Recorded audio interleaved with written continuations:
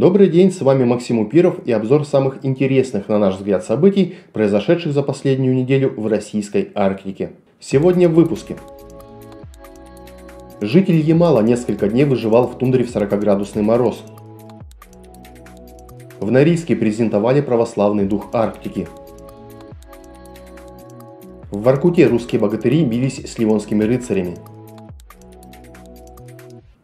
Масштабная интерактивная выставка открылась в поселке Никель в визит-центре международного заповедника Пасвик. Заповедник находится в пограничной зоне на территории Мурманской области и Норвегии, и попасть в него очень сложно. Посетителям выставки предоставляется возможность познакомиться практически со всеми обитателями охраняемой зоны, услышать голоса птиц и животных, увидеть уникальные растения. Здесь же рассказывают и о работе ученых в заповеднике. Открытие выставки приурочено сразу к двум датам – к 30-летию основания заповедника Пасвик и к пятилетию строительства самого визит-центра. Создание экспозиции стало возможным благодаря финансовой поддержке Норильского никеля. У нас впервые, по сути, появилась полноценная большая экспозиция, настоящий музей, современный, ультрасовременный, я бы даже сказала, в который мы включили ну, все, что мы могли максимально на этой площади, но у нас еще большие перспективы, конечно же. И мы рассчитываем, что после а, вот этого открытия и количество посетителей увеличится. Но самое главное, что будет больше людей, которые узнают о природе Севера. Жителю Ямала пришлось несколько дней выживать в Пуровской тундре в новогодние праздники. Во время поездки в соседнее стойбище у него сломался снегоход. Остаток пути 50 километров молодой человек решил преодолеть на лыжах. По меркам оленеводов это незначительное расстояние, однако поход растянулся на 4 дня. В тундре стоял 40-градусный мороз, дул сильный ветер. Чтобы найти тундровика по следам, спасателям приходилось лопастями вертолета сдувать снег, чтобы увидеть его лыжню. Этот метод в итоге помог, молодого человека нашли, от госпитализации потерявшийся отказался, так как чувствовал себя хорошо. По его словам, он смог выжить, потому что не впадал в панику и постоянно двигался. Ночевал в сугробах, укрывшись снегом.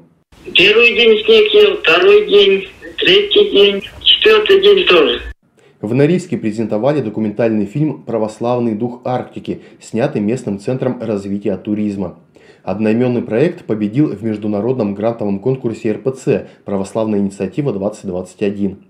В фильме ведется рассказ о северных святынях и храмах. Рассказчиками стали священники Норильской и Туруханской епархии, а также светские историки. В течение 45 минут зрители не только перемещаются по просторам Крайнего Севера, но и путешествуют сквозь время – Редкие кадры и удивительные истории, рассказанные героями фильма, дают возможность лучше узнать историю Красноярского севера. Партнерами этого проекта стали Норильская епархия, администрация города, компания «Норникель», проектный офис развития Арктики, Туруханский Свято-Троицкий мужской монастырь, агентство развития Норильска, Таймырский краеведческий музей, Таймырский дом народного творчества и многие другие. Не всякий человек сегодня а, может э, к нам добраться в связи с нашей удаленностью.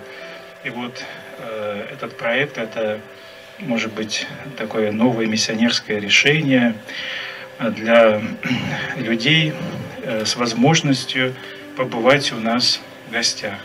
В Якутии внедряют ипотерапию для детей с ограниченными возможностями. Этим занимается благотворительный фонд Полежаевых на базе конного клуба «Мустанг». Благодаря верховой езде и общению с лошадьми им удается снимать физические и психологические ограничения, которые накладывают на детей такие болезни, как ДЦП, аутизм, задержка психоречевого развития. Специалисты отмечают существенное улучшение состояния больных детей. У них выпрямляется осанка, увеличивается объем грудной клетки, стабилизируется психологическое и общее физическое состояние. Благотворный эффект имеют даже кормление и уход за лошадьми. Реабилитационные программы проводят круглый год. Сейчас в хозяйстве конного клуба 15 лошадей, большая конюшня и теплый манеж – но в дальнейшем фонд планирует принимать участие в грантовых конкурсах, чтобы расшириться и увеличить штат инструкторов. После занятий э, верхом э, каждый человек э, чувствует благоприятное влияние на организм. То есть такт э, шага лошади абсолютно совпадает с тактом шага человека. Она импульсы дает право-лево, вверх-вниз и назад-вперед. Что-то местами напоминающее колыбельный эффект. Человек верхом успокаивается, особенно такие распространенные диагнозы же, как гиперактивность, уходит, наверное, на третьем занятии у детей. Работает весь, э, все тело полностью, весь организм, восстанавливается дыхание, выпрямляется осанка. Значит, соответственно, больше кислорода поступает в мозг, и человек себя чувствует очень хорошо. В Воркуте состоялось сражение между древнерусскими богатырями и ливонскими рыцарями. Реконструкторы из Воркутинского клуба «Северная земля» и их коллеги из Салихарда воспроизвели Раковорскую битву, которая состоялась в середине XIII века на территории современной Эстонии. Эта битва была гораздо масштабнее, чем Ледовое побоище или Невская битва. Но она малоизвестна широкой общественности, потому что в ней не участвовали знаменитые исторические личности вроде Александра Невского.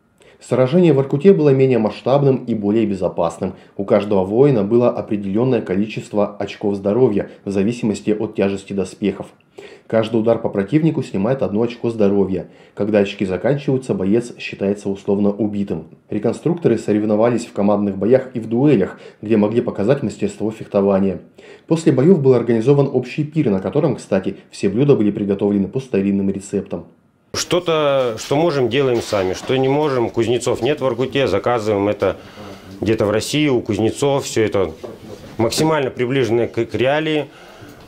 Показать людям, как это было на самом деле. То, что находится в музеях сейчас, откопано, найдено или сохранено. Мы делаем точные копии. На этом все. Увидимся с вами на следующей неделе. Ставьте лайки, оставляйте свои комментарии под этим видео и рассказывайте, что бы вы еще хотели узнать про Арктику. Всего вам доброго и до свидания.